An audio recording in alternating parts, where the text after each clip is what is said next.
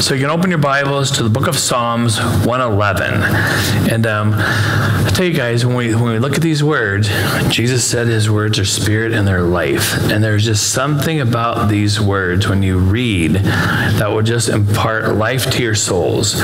And um, Psalm 111 and 112 are an acrostic, which is literally, it's a form of poetry, Jewish poetry, where each line begins the letter of the Jewish alphabet. There's 22. They don't line up exactly with the way the verses are set up. And then we'll probably do 113 and 114. And 113 to um, 118 are called the Hallel Psalms, which are praise and worship. And um, a theme that stands out in these um, first couple of Psalms has to do with the fear of the Lord. That's not terror. It's just being in awe of him. And you know, you can be in you can be in the fear of man. You can worry about what people think and spend your whole life trying to please people. You can live your life pleasing yourself. So many people live by the philosophy, I want to do what I want to do and what's best for me. And that's that's their philosophy. Both those are a dead end. We need to fear the Lord. We need to have the awe and respect of Him. Lord, what do you want for my life?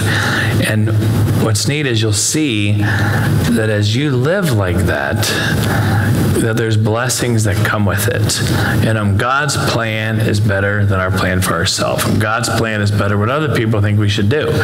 And um, and so I want to pray that just the Lord would um, just impart his life. Again, these words are so rich, so encouraging. And it's just like eating like the best steak to where you just want to take it slow and just let the Holy Spirit minister. So Lord, I thank you for your word as I've been looking at these verses the last few days, there's just there's a richness to them, an encouragement. It's so good to get away from the world and the confusion and the strife that's going on around us and just hear from you. And Lord, we need to hear from you, every word. And um, speak to us, open our eyes. Lord, I pray that we would fear you and not man and not even our own opinion, but all we care about is what you want. And I ask this in your name, Jesus. Amen.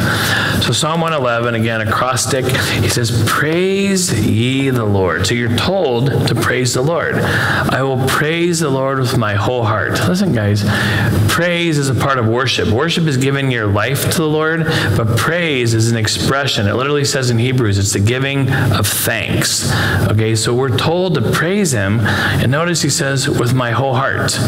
Listen, don't praise God half heartedly. Anybody ever here sat during the music and you're kind of like thinking about something else, but kind of going going along the words, not paying attention to what they mean. Anybody ever have that happen? It's easy to have it happen. And so I, I try to focus on what am I saying? What am I meaning? And I, I want to express that to God. And, um, and here's the thing, guys, and it says, in the assembly of the upright, in the congregation, praising the Lord is where God will fill you with His Spirit. In Psalm 22, it says, He inhabits the praises of His people. So when we start praising Him, when we singing to Him, inhabits means He dwells in. How many of you want God's presence to come upon you? When you sing to Him, when you worship Him, there is something tangible about God's presence. And I can remember growing up where, you know, songs were just kind of boring and I and I didn't get it. And somewhere, I don't know, about 1981, I was about 19 years old, I was filled with the Holy Spirit, and I just remembered when it was just like as I started singing, I just entered into God's presence. It's real, it's tangible. He inhabits the praise of his people if you worship him with your whole heart. And it also says in Ephesians 5, it says, be filled with the Spirit singing psalms and hymns and spiritual songs, making melody in your heart to the Lord. How many of you want to be filled with the Holy Spirit? Listen, sing to Him, worship Him. We should have worship going on all the time.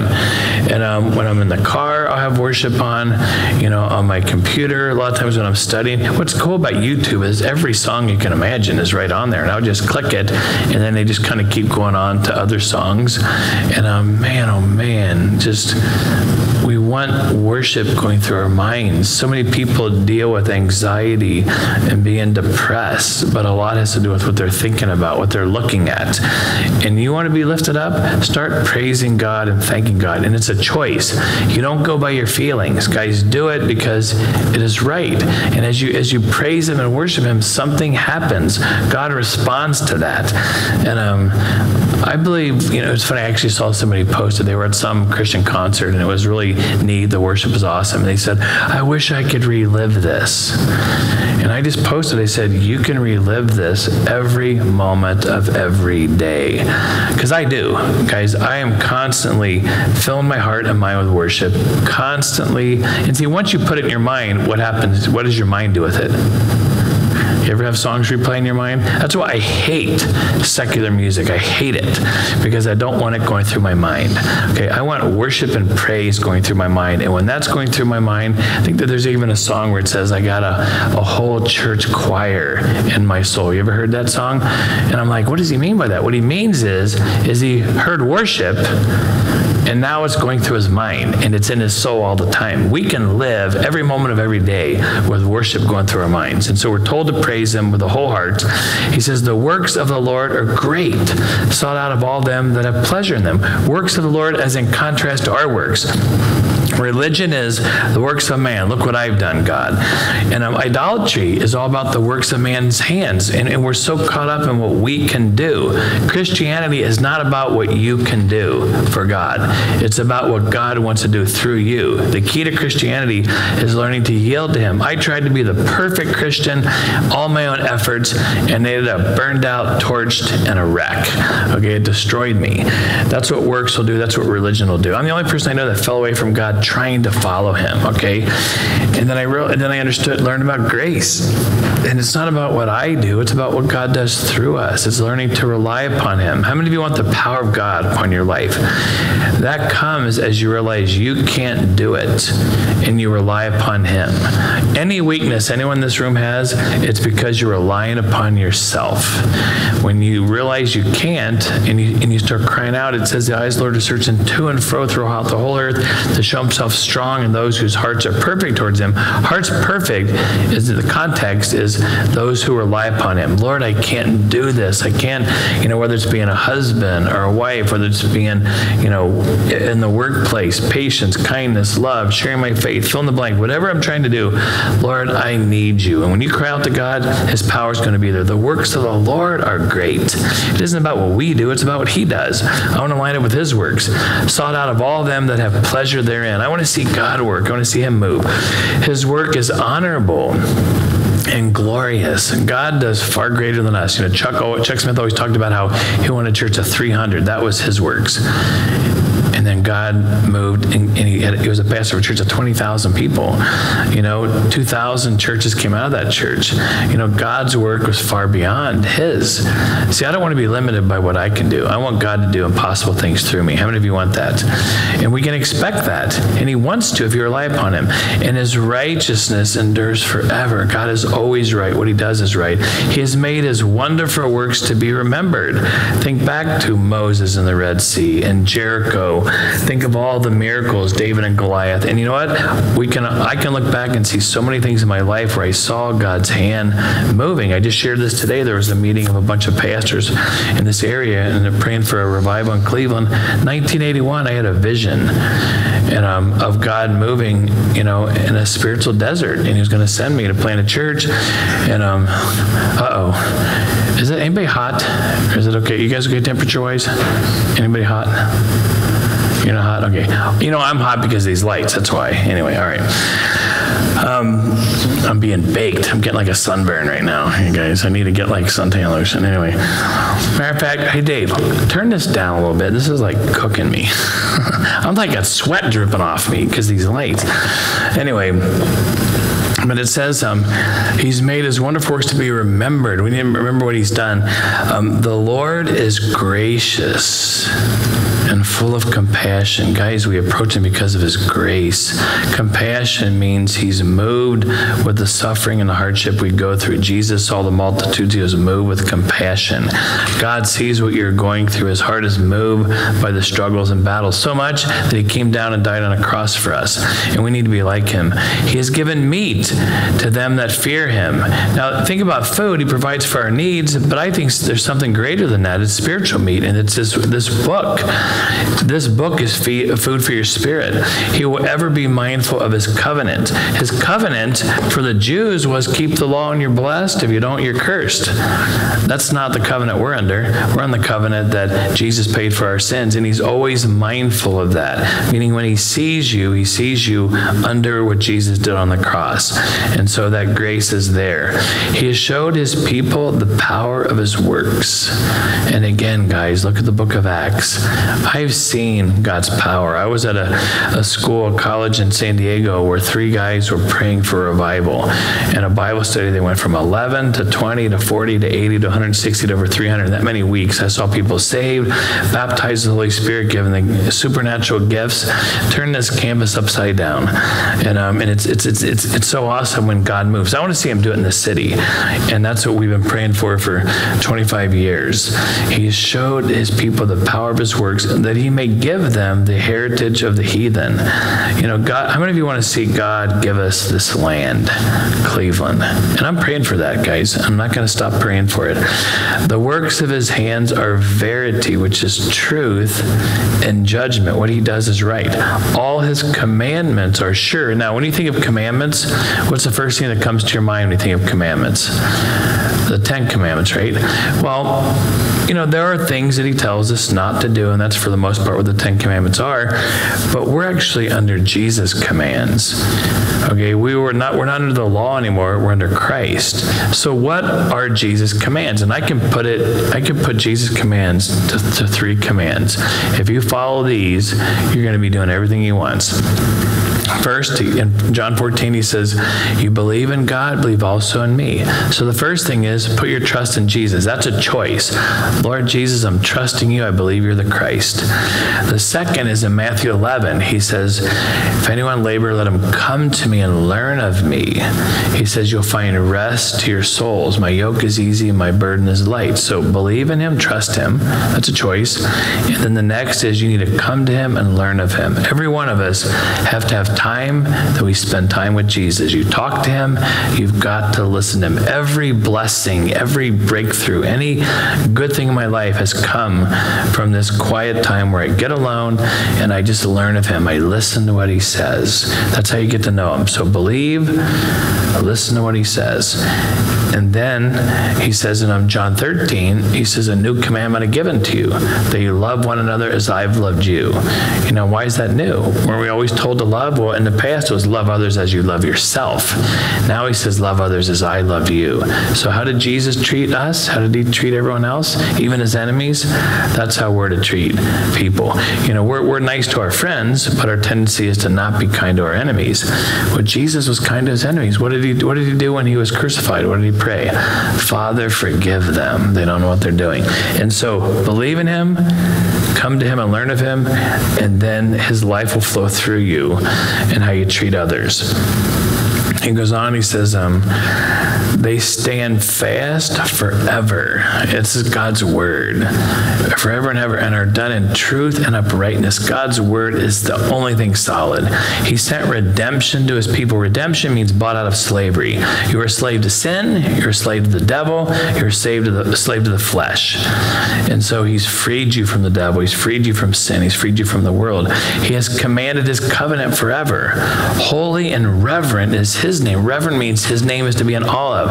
I don't like it, and it's happened over the years where somebody calls me Reverend Bucher, or I get a letter with that, and I say, Look, I am, whose name is Reverend? Holy and Reverend is whose name? His name. I'm not Reverend. Do not call me Reverend, okay?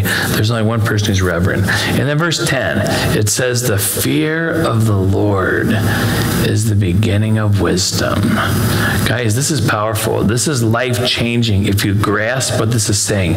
Now, let's think about wisdom for a second. There's intellect. That's your ability to maybe remember. Who here's got a good memory? Anybody got a good memory? I always had a photographic memory, okay? And then there's, you know, there's memory, then there's your intellect, the ability to understand things, like calculate things. Who's good in math here? Anybody good in math? Who's good at math? Anybody? No one's good at math? Anybody good at, now some people are good at like languages, not math, but there's another part of the brain. Who's good at like languages and artsy kind of stuff? Mean, I'm not good at that. Anybody here like physics? Who likes physics? I love those kind of things. Nobody? Nobody here likes physics? Okay, there we go. I, and, and those things I'm good at, but that, you know, so you've got memory, the ability to calculate and understand. There's understanding, which I think is more insight into things. And I remember when I was in the Air Force, this radar maintenance 11 month school, you know, everybody's trying to memorize all this stuff. I tried to understand, okay? And you want to be able to understand how things work, not just memorize. But but wisdom is different than all those. Wisdom is the proper use of knowledge. You can be smart and a fool. Okay, you can have a, I mean, what does it say about those who believe in evolution? Romans 1, professing themselves to be wise, they became what? Well, there's intellectual, smart people that are stupid, okay, when it comes to, because they don't have, they're, and it says the fullness said in his heart there is no God. Now, it's funny, me and Sheila, I tend to have more intellect but you know what? She has a lot. She has more wisdom. I would just admit it right now. She has a lot of wisdom. You know, and she kids around. She thinks I think she's stupid. I do not think you're stupid, and I've never said that. She, you think I'm stupid, honey? I've never said that. But she has a lot of wisdom, the proper use of knowledge, and the fear of the Lord is the beginning of wisdom. So, the foundation for wisdom, knowing what's right, the proper use of knowledge, starts with you fearing God. This isn't terror of God. It isn't being afraid of Him. It says perfect love casts out all fear. This is to be in awe of him. And it's in contrast to fearing man, okay? In the, in the Proverbs, it says, the fear of man brings a snare. What's the fear of man? That's peer pressure. Anybody here ever worry about what people think? You know, their dress. And there's so many things, especially in school, in high school, it's all about, you know, trying to fit in, okay? And there's a, there's a, there's a peer pressure. Let me tell you something. If you try to please people and that's what's motivating you, you will be frustrated. It is impossible to do. It is a snare. It'll destroy you. Um, also, I think, you know, if we, some people elevate their own opinion, you know, I'm going to do what I think is right. That's a dead end. The fear of the Lord, it says, is a fountain of life. Let that sink in. God, what do you say is right?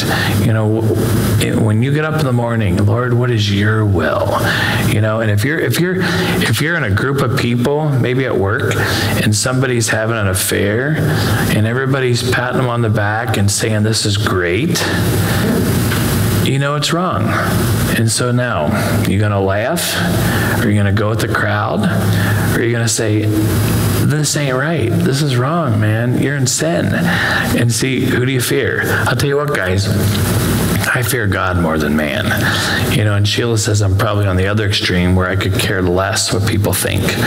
Okay. And it's just because, you know what? All that matters is what God says. And right now, the church is bowing. This whole cultural relevance thing, it's all about trying to fit in with the culture to reach the culture. Do you realize the church is never called to that? We are called to confront the culture. The culture is wrong and it's leading to death. And we need to stand up and speak truth even if people hate our guts. And um, who do you fear? Who you? You know what's interesting? If you fear God, you have no one else to fear. Do you realize that, guys? If I fear God, I don't have to fear anyone else. Because who's going to defend you if you stand up for the Lord? He's going to. And let me tell you something. We're living in a day. Get used to it. That you speak truth and stand up for truth, you're going to be hated.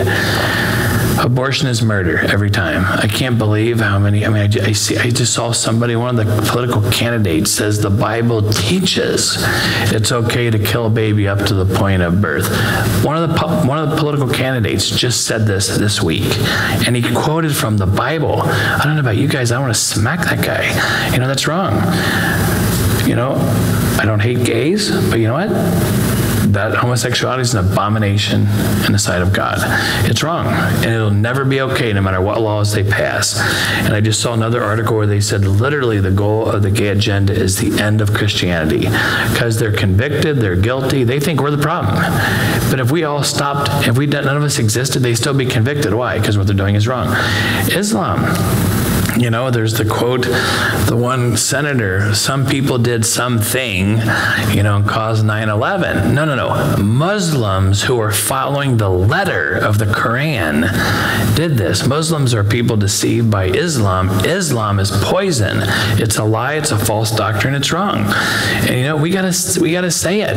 Now, just those three things I've said, how would you be received if you say this publicly? But guess what, guys? We gotta speak truth. The fear of the Lord. God, what do you think? It doesn't matter what anyone else thinks, is the beginning of wisdom. Start there. Worry about what, worry about what God says. A good understanding have all they that do his commandments. Listen, a good understanding. What does that mean, a good understanding? See, you look at processes, you see cause and effect. And a good understanding is someone who what? Who does his commands. What does it say in James? It's not just the hearers, but the doers of the word. You might know the Bible, but now you got to apply it. And what does it mean you have good understanding when you do it? You know, you kind of look, you know, every time I go against what God says, I end up suffering and being miserable. And when I do what he says, I see blessing. Hmm. When I watch people, I watch people over the years. Gosh, I just had somebody got a little mini debate on Facebook. This person was saying how happy they are living for themselves. They don't need anyone else. They don't need a savior. Some, and they had this big paragraph, and I'm like, the person was like 21, you know, and I'm like, you know, all I can say is I've seen people with your philosophy, and I've watched for 40 years, and they end up miserable and empty. I said, you, you're at the beginning of it. I've seen people at the end of it. Okay, good understanding as I watch. You know, I see people who honor God like Chuck Smith and Corrie ten Boom, and I see him putting his word first, and I see the fruit of that. I see the blessing. It's like, you know, I think this is the way to live. A good understanding have all they that do his commandments. When God says forgive, you forgive. When he says pray, you pray. When he says give, you give. Share your faith, read your Bible. Whatever the Bible says, you apply it. And guess what? Man, this is the right thing. Jesus said, if anyone will do his commands, then they'll know if what he says is of the truth. He says, if you continue my word, then you'll know the truth by experience. I've experienced truth for 40 years. This book is correct. It's, it's God's word. Psalm 112. Praise ye the Lord. Blessed is the man that fears the Lord. Now, we're talking about the fear of the Lord is the beginning of wisdom. Now, let's look what follows. If you make it your decision, Lord, all I care about is what you think. I'm going to honor you. If everybody at work is ripping off the company, you don't do it. Okay? A lot of people can get away with things and do things in secret.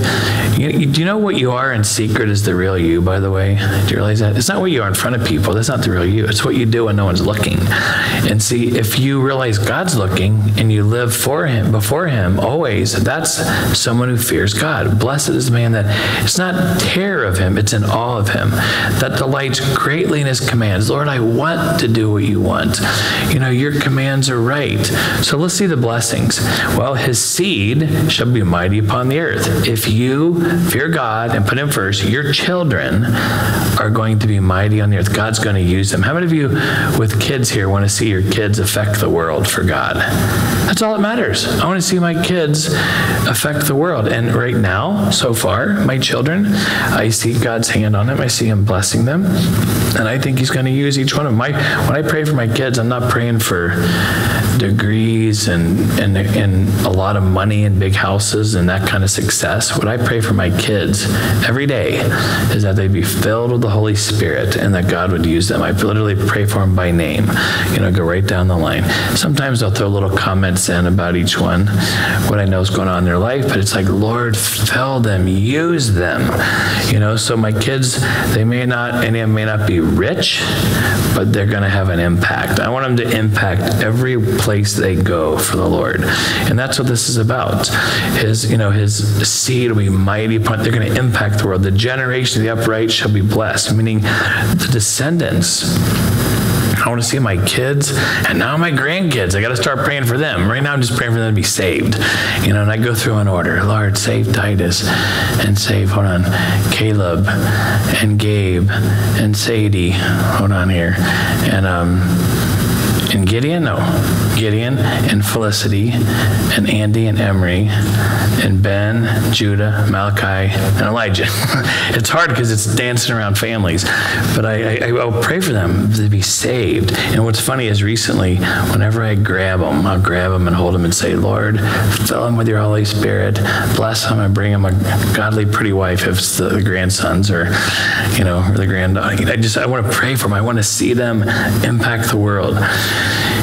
And he says that if you honor the Lord, your children are going to. Wealth and riches shall be in his house. Now, I don't believe God's promising us material riches. I think he's talking about spiritual because Israel was an earthly kingdom. For us, it's spiritual. And his righteousness endures forever.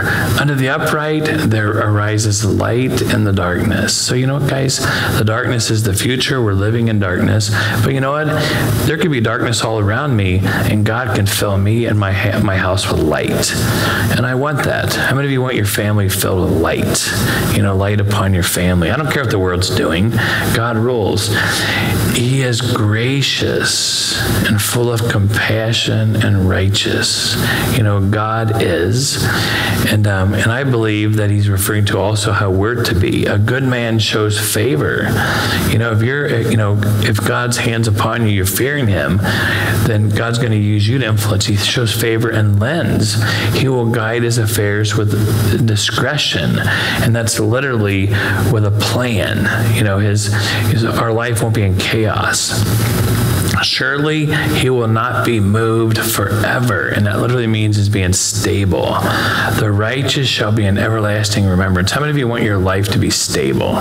See, nothing can affect and, and disrupt my life except God allows it. And he goes on, he says, He will not be afraid of evil tidings. So listen, there might be bad news. Think about this day 18 years ago, you know, 9 11. Think about that news. I don't care what the news is, I don't care how bad bad or what happens in the world, he will not be afraid of evil tidings. Why? His heart is fixed, trusting the Lord. Listen, guys, you, how many of you want peace in your life? You want peace? See, there's people who, who struggle with anxiety. There's people that actually take medicine for anxiety. Anxiety is a feeling caused by fear, and it's usually triggered by a thought. But fear and faith are opposites. Okay, you cannot be in fear and trust God at the same time. And so, trusting God is a choice and that comes as you know Him. I've had 40 years of trusting God, and I realize He's in control. And so, you know, I, I really believe I can say this my heart is fixed. Lord, you've got me. I'm in your hands. I've been in a thousand situations that look impossible, and you've always been faithful. You've always been good. I don't have to fear. And um, it says He's not given a spirit of fear, but of power, love, and a sound mind. And I believe it's a choice. And it doesn't mean that there aren't feelings of fear, but I don't follow them. Do you guys realize that? We're not to follow feelings. We're living in a day where feelings are exalted. There's a lot of wrong feelings. And, um, and I can have feelings of fear. Matter of fact, I'm kind of the kind that if I feel fear, it makes me want to do it more. Okay? Because God's not trying to motivate me with fear. I remember when, um, when I was a kid, I used to do um, backflips on a trampoline and a diving board. And a trampoline, you go straight up and down. Diving board, you go backwards. Well, within a two week period on both of them, I switched it. I went up and down on the diving board and hit it. And then I went backwards in the trampoline and landed in the springs. And I went like 10 years without doing that. And now, if I ever see a diving board or a trampoline, I'm making myself do that because I'm not letting fear rule over me. And here's the thing, guys I don't want fear to rule me. If, you know, if there's a chance to go out and share my faith or do anything for the Lord and there's the slightest bit of fear, I'm doing it. I'm not, I'm not going to let fear be the boss. You know, we don't have to let fear rule us. And um, his heart is fixed, trusting the Lord. His heart is established. That means literally just rooted, solid. He will not be afraid. I love this, guys. And see, that comes from faith, and faith comes from God's word. Until we see his desire upon his enemies. Look at this. How many of you want to be that person? Not afraid of evil tidings, heart is fixed, trusting the Lord. How many of you want to be that? You want to be that? You know, and we can. And it comes from God's word. God's word is what's going to produce that trust.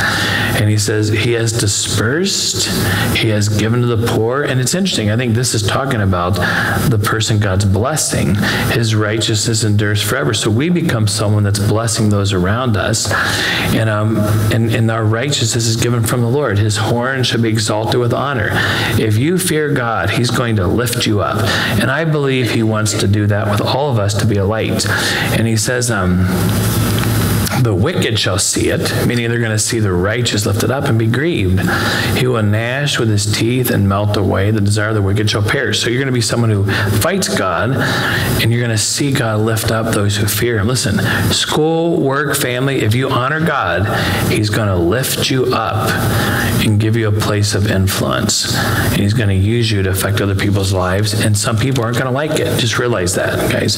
Psalm 113. This is the Hallel Psalms. 113 and 118 were all praise and worship, and they were sung at Passover and different festivals. Praise ye the Lord. Praise, O ye servants of the Lord. Praise the name of the Lord. So we're told to do this, guys. And I'm telling you, you're ever down or discouraged, and we talk about anxiety and fear. Well, there's depression. Depression is an emotion, it's a feeling. You don't have to give in to that. You start praising and worshiping God, and God will lift you up. Blessed be the name of the Lord from this time forth and forevermore. From the rising of the sun to the going down of the same, the name, the Lord's name is to be praised. So look at this. He's talking about praise, and what is he praising here? He says, verse one, praise the name of the Lord. Verse two, blessed be the name of the Lord. From the rising of the sun to the going down of the same, the Lord's name is to be praised. So do you guys recognize God saying we need to lift up his name, right? Why is that important? Because God's name is his nature. Okay, he's the all becoming one. Everything we need is in his name. There's power in his name. So would you guys say his name is great? Would you say, how many of you would say his name is the greatest thing there is? Would you say that? Now, I would tend to say that. But believe it or not, there's one thing he puts above his name. Here, all these verses are saying, Praise the name of the Lord. Go to Psalm 138 for a second. And this is one of my favorite verses because, as awesome as his name is, he lifts up one thing above his name. And there's nothing exalted above what he's going to share it here. Psalm 138, verse 2. He said, I will worship towards your holy temple and praise thy name for your loving kindness, for your truth. And look at this. For you have exalted, magnified what? Your word above your name. So God's name is great, but what's greater than God's name? His Word. And why is that? Because His name is connected to His Word. If His Word is no good, think about that of a person. How many of you know somebody that their word means nothing? Well, then their name is nothing. You know, your, your, the honor of your name is directly connected to your faithfulness to your word. Who would say God is very much faithful to His Word? And see, what is under attack by the devil isn't God's name, it's God's Word. Right now, all around us, there's an attack on His Word. And I'm telling you guys, if the devil devil is trying to take down God's word and, and keep people away from it, we need to be more determined than ever to read it. Nothing will change your life, give you peace, blessing, and direction more than this book. This is the owner's manual for life. And if you don't know what's in this book, then you know what your life's going to be a wreck. He goes on, verse 4 The Lord is high above all nations, and his glory above the heavens. And, you know, I, you sit here. This is the, these are the kind of verses, guys. When I'm reading, it's like, okay, the Lord is above all nations. We see the world in chaos, yet God's still on the throne. I remember in 1981, a handful of guys were on fire for the Lord, and no matter what happened, our response was, "The Lord's still on the throne." And He says, "His glory above the heavens." Who is like the Lord our God, who dwells on high? There's no one like Him, who humbles Himself to behold the things that are in heaven and in the earth. He humbles humbles himself to reach down. I remember reading on a very a very prominent, famous businessman who um, would make it a point when he was at it. We're talking thousands of employees. If he would see a gardener, he'd go over to them and talk to them. And they said it wasn't much to him to do it, but it meant a lot to that person. And he's humbling himself to somebody, obviously, who's serving, you know, and this person's elevated. Well, God, when he just looks at us, he's humbling himself. And look what it says. He raises up the poor out of the dust, and he lifts the needy out of the dunghill. you know, we all have life verses, and this is one of mine. Okay, you know, what does it say? Not many mighty, not many noble has God called. He's called the foolish things of the world to confound the wise. And, you know, when my dad died, I was the biggest nobody in the world. And I feel like he just reached down and said, I'm going to pull you out of the dunghill. Look what it says that he may set him with princes. Listen, guys, I've sat with, shared with, talked to people who are billionaires. Okay, shared the gospel, pray with, they get my Bible studies. You know, even with the racing stuff stuff. You know, you guys realize drag racing for the most part is a rich person sport. I mean, I'm not rich. And just at Indianapolis, the biggest drag race, I remember sitting in this car and, I, and actually my reading, I was studying this before I, you know, when I was there, and it's like, you know what? There's got, almost every one of these guys who are racing, they're wealthy businessmen. They've got money or somebody's paying them a lot of money to do this. Or, and it's like, I shouldn't even be here. But why did God put me here? He put me there to be a light for him. I'm the biggest nobody. How many remember the Kurt Warner story? That's a classic. He's a stock boy in a grocery store. 12 months. If, you, if you're looking on the calendar, okay, it's January. 12 months later, 12 months, MVP of the Super Bowl. If you could some, go back in time and go to the go to the you know the grocery store and he's back like emptying boxes on shelves. Hey Kurt, you know what's going to happen in 12 months? You're not going to believe this. You're going to be the MVP of the Super Bowl. What happened was he was in the arena football. He got picked or signed as a backup quarterback. First game, the starting quarterback got hurt. I can't remember who it was. It was the Rams. And then he ended up being this amazing talent, went to the Super Bowl more than once, MVP why did God do this? Because the first words out of his mouth were, I'm here to glorify Jesus Christ. Everything I have, everything I am is because of him. And I believe the Lord, if your attitude is, Lord, I want to lift your name up, I want to serve you. That's what I, when I go to the drag races, Lord, give me a platform to tell people about you. I'm not going to do this just to race because racing is vain. It's completely empty. It's absolutely worthless. But if I can use it for the Lord, then it's an awesome thing. And he has used it so many times. He raised up the poor out of the the dust. He lifts the needy out of the dunghill. Can anybody else feel like that's you? That was me, big time. That he may set him among princes, even the princes of his people. He makes the barren woman to keep house and to be the joyful mother of children. So this is a picture of a blessing. Now I'll tell you something, guys. There was a time that barren woman was like a curse. That was a horrible stigma. The greatest blessing for a woman would be to have a lot of kids. You know, there was a time in history before the industrial age kids were a blessing because it was more of an agrarian society. And so if you had a lot of kids, you had a lot of kids who would work for the family, whatever you did as a business, usually a farm or whatever, and it meant a lot of wealth. And so there was a time in history where like Sheila would be looked at as this amazing woman. But, but now, because of industrial age, everything's kind of flipped to where children are not seen as a value, they're a liability. And so, I mean, we've endured, gosh, ever since we started after about two. Don't you know what causes this? Are you going to have any more? You guys are crazy. You're part of the problem. Do you guys realize? Remember, remember the 70s, the whole population explosion worries. Everybody remember that? There was never a danger of population explosion.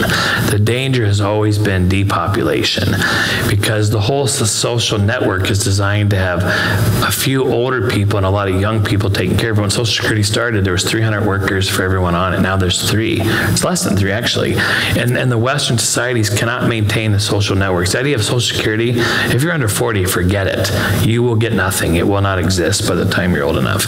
And um, it's not possible. The numbers I, I saw, they said that the, the, the, the debt, not just the national debt was like 20 trillion, but the, but the um, the unfunded liabilities of cities and, and the federal government to pensions and all this stuff is like 200 trillion. It cannot be sustained, and um, and so the problem is, is is we look at kids as something we don't want, and so now women, and this is just a general thing. I'm not saying anyone in here, but the idea of women having children is looked down upon. And notice it says she, and she, uh, the barren woman will keep house and be the joyful mother of children. That's meant as a wow, you're going to have a lot of kids and you get to take care of the house. but see, what's happened, guys, is is that you know you've had this change to where women are being brainwashed to not have kids they want to go into the workforce. What's interesting is one income of a man in the 50s and 60s, what happened is women went into the workforce and it dropped the wages. Do you realize now two incomes right now are required to equal one income in the 50s and 60s? Do you guys realize that? And, um, and see, the model of a husband working and supporting a wife and kids and a, and a, wife raising the children, that was God's model. That is despised. You realize that the traditional family? And I mean, I understand there's divorce, there's single moms that don't have a choice to work, and I'm not and, I, and I'm not saying anything against that, but I'm just going by the model. The model was for the man to take care of, and actually, this idea of keeping the house. Jump over to um, Titus 2, and this this this kind of Bible study that I'm sharing here is not necessarily a popular thing in this day and age. And, and you guys realize the most important person in our society is the mother with little children. Because even Hitler and Stalin both said, You give me a child till he's six, you can have him the rest of his life. So, mommies, the, you have the biggest influence on the children under like six years old. And um, you're ingraining in them a pattern that nothing will undo it. And, um, and if it's for the Lord, it'll be for the right things. And if it's not, and, and, and moms have the next generation. And, you know, it's interesting, guys. I think about this a lot. The devil's strategy for society was to get the men to fall in the sexual sin, the sexual revolution of the 60s. And sexual sin will cause men to be weak. They can't lead. And so then that will open the door for the feminist movement, women, you know, in a sense, rising up. And what it does, it leaves the children without that influence at home. And Jesus said the last generation, they're going to rise up and have their parents put to death. And so you literally have children not being led. But look at Titus 2 it says here, talking about the older women, verse 3 the older women likewise, a behavior that becomes holiness, not false accusers, not given to much wine, teachers of good things, that they may teach the young women to be sober, to love their husbands, to love their children, to be discreet, to be chaste, keepers at home. It literally means working at home. The stay at home mom. You know, isn't that like a despised thing nowadays? You know, if you talk to a young girl, um, you know, so often, if they say, oh, I just want to be a wife and a mommy, that's looked at and ridiculed. That should be encouraged.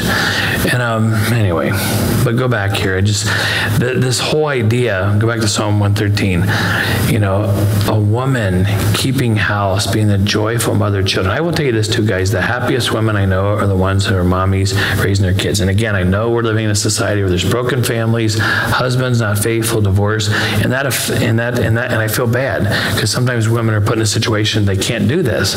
But I think deep down, if there's a highest calling, that's it, raising the next generation.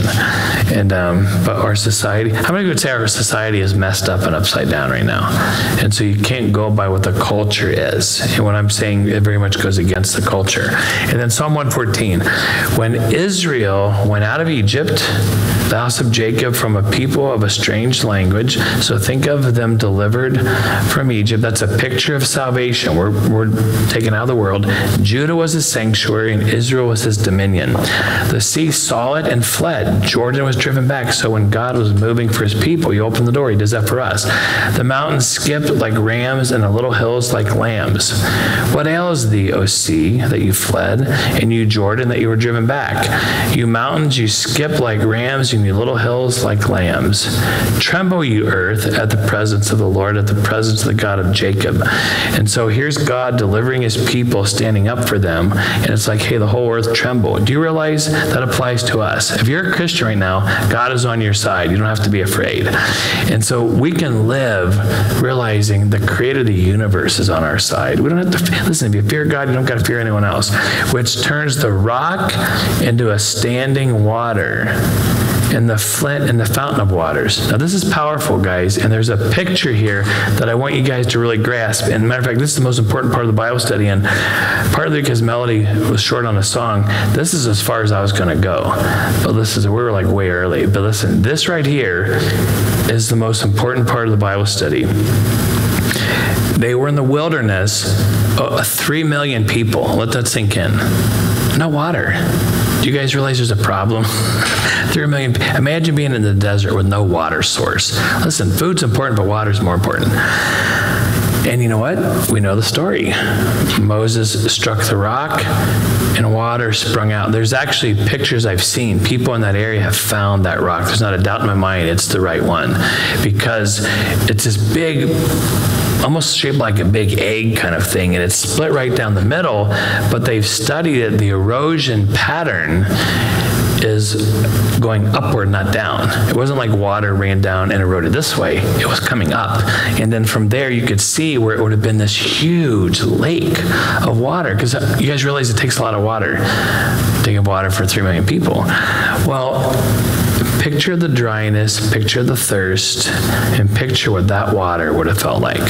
Okay, without wouldn't you just want to just dive in that if you're in the wilderness all the time? Now, now I want you to picture this life. Picture your soul for a second. There's nothing in this world that's going to satisfy your soul. Okay, the water is the spirit. I want to show you a couple verses and I want to apply this to something. Go to 1 Corinthians 10. 1 Corinthians 10. This is probably the most important part. Well, this is the most important part of this Bible study here. And um, we're living in a day. I just saw. I just saw a um, article where some pastor committed suicide, and there's so many people dealing with what they're referring to as depression. And here's the thing, guys. The Bible says the fruit of the Spirit is love, joy, peace. If that's true, then the spirit overrules anything of the flesh or my emotions. And I look at um, 1 Corinthians 10. It says, Moreover, verse 1, Brethren, I would not have you be ignorant that all our fathers were under the cloud and all passed through the sea, and were all baptized unto Moses in the cloud and in the sea, and did all meet, eat of the same spiritual meat. So manna, which is a picture of God's word. And they did all drink the same spiritual drink, for, for they drank of that spiritual rock that followed them, and that rock was Christ. So what he's telling us here is them being in the desert, and this this rock was Jesus. And what did it do? It brought forth water. Okay? The water is a picture of the Holy Spirit. Go to John 4. And I just I want you to think in terms of, you know, your soul on the inside, your feelings, your emotions. And um, how many of you want joy and peace in your heart? Do you want that? Okay, it doesn't come from the flesh, it doesn't come from the five senses. It only comes from the Spirit of God. If you are not feeding your spirit, you will be down and you'll be depressed. The only thing that's going to give you joy and peace is feeding your spirit. The only thing that does that's God's word. So John 4, you know the story here, the woman at the well, and Jesus, verse 13, answered and said, Whoever drinks of this water shall thirst again. Meaning the physical water. Anything material, physical, you'll thirst again, you'll be hungry again. But whoever drinks of the water that I give, him shall never thirst, but the water that I give shall be in him a well of water spring up in everlasting life. He's saying that when you when he puts his spirit in you, guys, picture this for a second. You're a soul inside of a body. You're not that body, you're gonna leave that body. Inside your soul, you know, if you could draw it, it's, you know, what is it? What's the shape of your soul? I don't know. But inside of it, there's this empty place. And when God's Spirit comes in, it's like this well of water. And that water is where there's life, where there's joy, where there's contentment, where there's satisfaction. And so inside of me, there's this source where I can literally take a cup and just drink from it. If I'm down or discouraged, hey, do anybody ever get worried and afraid and depressed about life and things going on around you? At any moment, at any time, you can dip into this well. We already talked about it praise and worship. You know, be filled with Spirit, sing psalms and spiritual song, making melody in your heart to the Lord. The, the lady who was at the concert said, I wish I could relive this. Guys, we can relive this at all times. You can be in God's Word, you can worship and praise Him, you can be filled, you can drink from this well. It's right there inside of you. Okay, that source is there. You just got to take time to, to and, and it's the Lord, it's your relationship with God. Jump over to um, John 7, and this is the last verse we're going to look at. And then where did Melody go? Oh, there she is. Okay. You're going to do two songs, which is actually going to fit perfectly. John 7. Now, listen, guys. The Feast of Tabernacles was it would commemorate the Lord preserving them in the wilderness. Okay, and part of this feast, every day they would take pitchers of water and dump it down the steps of the tabernacle and, the temple. Okay, it was a and it was a picture of God miraculously bringing water. Well, on the last day, they would not dump the water because when they got into the land, the supernatural water stopped, and God, you know, because they were in the land, they didn't need it. And and so if you look at John 7, verse 37, and I love this, man, I love this verse. And I, I still remember in 1981 being at a concert, and these guys were singing this song, and it, it was, is, is anyone, there, it was kind of one of those real kind of radical songs. It wasn't a worship song, but it was kind of a, I don't know what you called it back then. I don't know if it was punk rock or something, but it was, is anyone thirsty? You know, and then in the middle of the song, the line was, and God stood up. And so in the last day, verse 37, the great day of the feast, Jesus stood. Remember, there's no water this time. Okay, this is the last day. They're not pouring the water. Jesus stood and cried, if any man thirst, let him come to me and drink. Is any, in the line, the, the chorus of the song was, is anyone thirsty? You know, and they kept saying it over and over. Is anyone thirsty? You know, God stood up. I love this. Everybody's standing around. He's like, hey, if you're thirsty, what he's saying, he's, he's the rock. He's the one that gives the life. Think of being thirsty and dry in the desert. Now think about how that water would have felt. Now think about your soul. There are so many people walking around dry and thirsty because they're looking to the world to satisfy them. Nothing of the five senses are going to give you that satisfaction. He that believes on me, as the scripture says, out of his belly will flow rivers of living water. But this he spoke of the Spirit, which they that would believe on him would receive, for the Holy Ghost is not yet given. So, not just you guys, listen, you have a well in you that it can give you joy and peace, but it's going to overflow you and touch everyone else. Okay? We all have this, guys. How many of you want this? Moses struck the rock. That's a picture of Jesus being crucified. Now, the second time he was told to speak to it, but what did he do? Struck it again and he got in trouble. Moses, come here, son. you're not going in. You lost your temper. I've, you're not going to do that. But he, he messed up the analogy. Once the rock is struck, crucified, all you got to do is speak to it. If you want the river of life, the water of life, Jesus, please fill me, overflow me, baptize me with your Holy Spirit. And you know what? He's going to do it every time if you ask him. And then when you ask, just start praising him. And you know what? You know, hands lifted up, part of it is, Lord, here I am, take me. And then part of it is, Lord, everything you are, I want and I need. And I'm telling you guys, it is possible to live in this place. You know, Chuck Smith said you want to live under the spout where the glory comes out. And that's as you worship and praise God, He's going to overflow you and fill you with the Spirit. And there's a, listen, if you're a Christian, if you're saved, there's a well of water in you where you'll have joy and peace. And nothing, Money won't give it. A nice car, nice job, education. I don't care. You have the best relationship, best marriage, best of everything. Nothing is going to give you joy and peace in your soul. And you know what? You can have turmoil all around you and struggles and battles. You can have darkness all around. And what does it say in the, in the psalm? Light. He will, he will give you a life and a light in the midst of the storm that nothing in the world can take away. And it's true. It's real. And so, how many of you want that? So let's pray. Heavenly Father, I ask that every one of us here would see Jesus, you are that rock that you brought forth living water. Lord, help us to see we'll never be satisfied with pleasure, with money, with food, with possessions, with accomplishments, with fame, recognition. There's nothing in this world that'll fill that empty place in our soul. Only you, Jesus, only your spirit. And it's only your word that feeds your spirit. And I ask, Lord, that every one of us here would just give up and quit looking to the things of the world to satisfy us, that we look to you, that we connect with you, we spend time with you, that we would fear you, we'd be in all of you.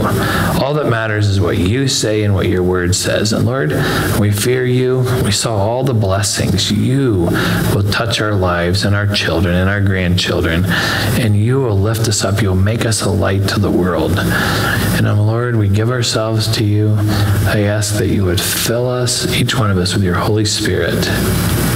And Lord, even these two songs that Melody's going to play and sing, as we're singing, Lord, I ask that you would refill and overflow us, and that we'd expect you to fill us. And Lord, as we sing, help us to praise you with our whole heart.